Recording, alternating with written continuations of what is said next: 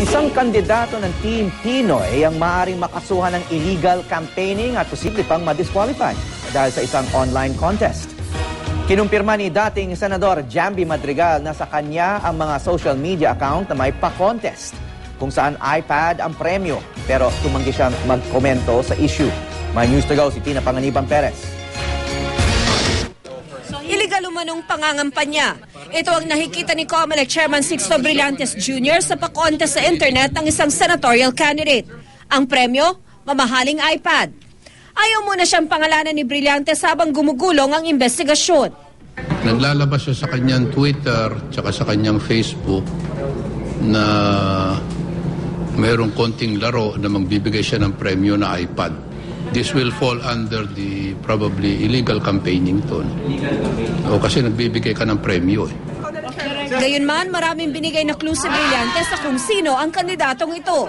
Mula raw sa Administration Coalition na Team Pinoy ang kandidato at isa raw itong babae. Bisitahin niyo If she ba does muna not yung... proceed, Ah, it's a girl. if, if she does not Starts with... see, nasa administration ticket. Inilahad pa ng COMELEC chairman ang mechanics ng pa-contest ng senatorial candidate. Parang contest ito eh, na magpipil in the blanks ka. Corruption is bad because lumalabas friends of yung kandidato. Pero apparently, ginagamit yung Twitter niya at yung Facebook niya. Sa pagsasaliksik ng GMA News, nakita namin ang Facebook page ng isang kandidatong tila tugma sa mga clue ni Brillantes. Ang Facebook page ni dating Senador Jambi Madrigal, isa sa mga senatorial candidate ng Team Pinoy at ang buong tunay na pangalan ay nagsisimula sa letrang C, Maria Ana Consuelo. May nakapost din itong photo kung saan ang hihikayat ang Friends of Jambi na ilike ang fanpage ng dating senadora para sa tsansang manalo ng iPad. Kumpletuhin din daw ang sentence na corruption is bad because. Sa Twitter naman, may tweet din sa Madrigal sa at the real Jambi ng speaker mind about corruption and win an iPad. Sabi ni Brillantes, kahit daw itigil ng kandidato ang contest, di pa rin daw ito ligtas sa asunto.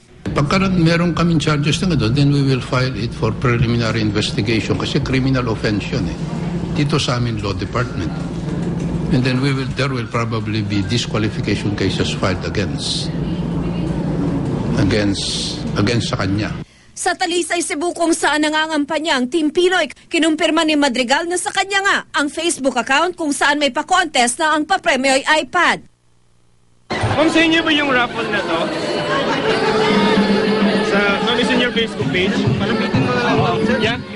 Gayunman, sabi ni Madrigal, mga abogado na raw niya ang bahala sa magiging hakbang ng kanilang kampo. until I see the uh, until I see the formal documents, I cannot comment. I will let.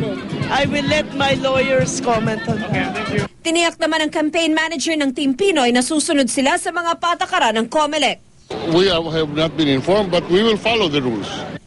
Tina Panganiban Perez, GMA News.